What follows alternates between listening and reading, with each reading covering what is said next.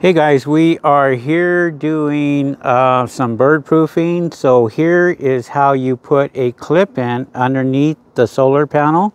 So all you're gonna do is go from right here on your third one, go all the way down underneath until it grabs. And when it grabs, you lock it right into place.